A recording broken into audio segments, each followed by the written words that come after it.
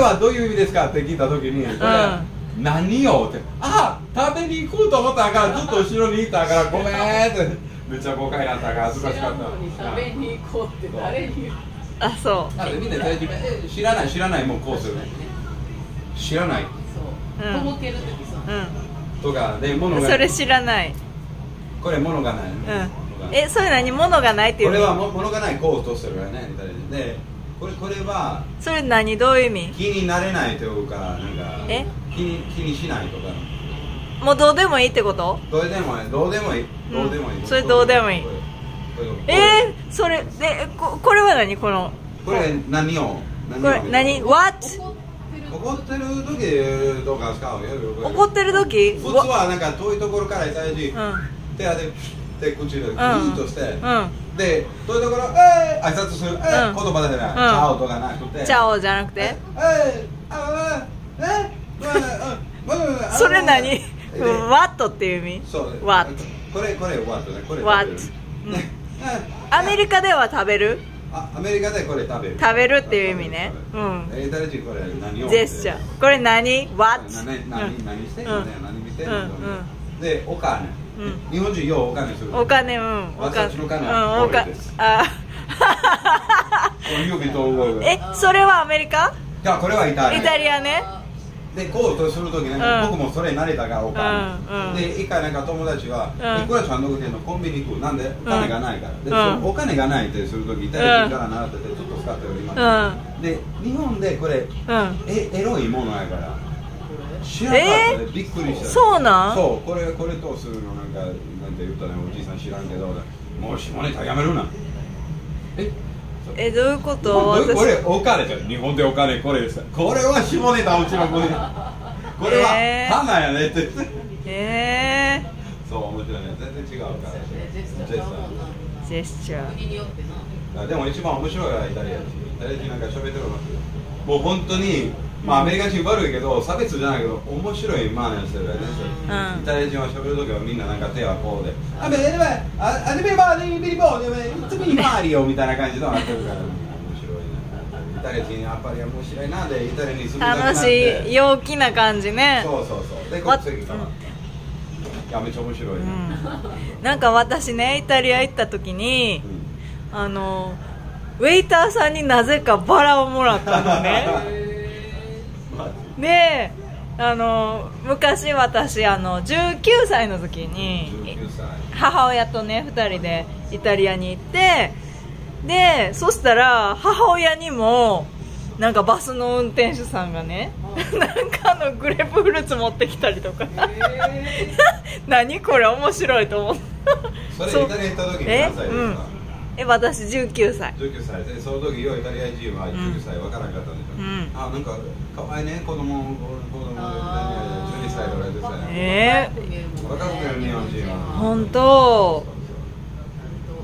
ねなんかそういうプレゼントする女性に花をプレゼントしたりとかうん。そういう文化っていいですよね。まあ、それはなんか何も考えてないということはないね。花はちゃんと選んで、まあ、花はじ意味があるってそういう意味があるのっていうのはローズとか、うん。ローズでも、うん。その色。色とか、うん。えー白とかブルーとか、ピンクとか。えどういう意味があるの？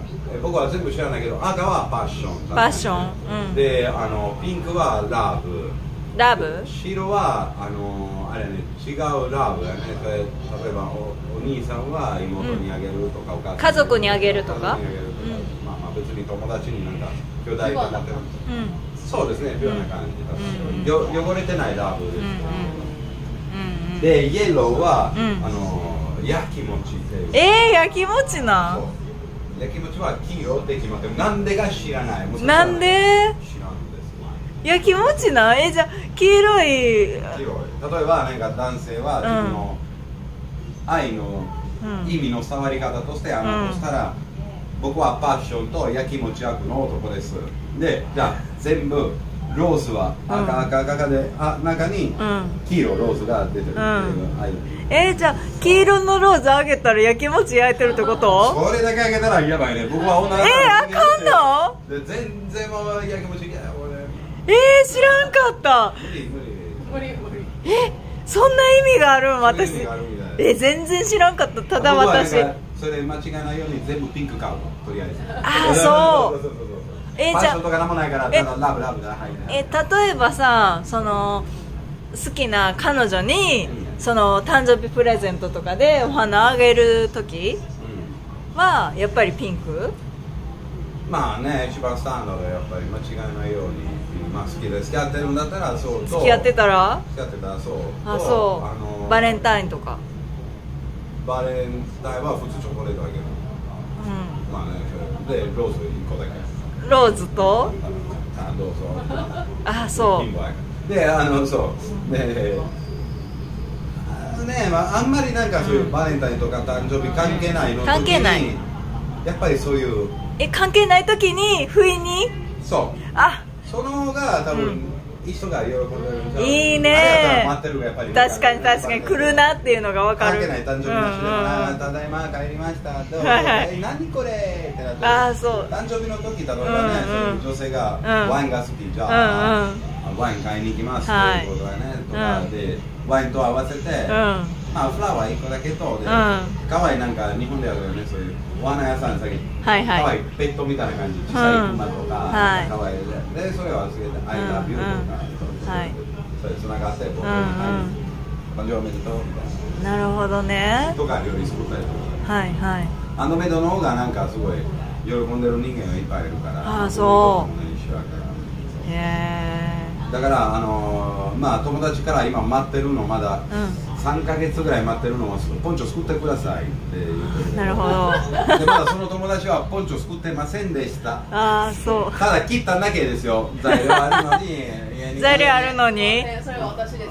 私です私です。ほとんどナッツなってるからもうポンチョいらないやついですけど作ってほしいとりあえずね。ポンチョいらんやろ。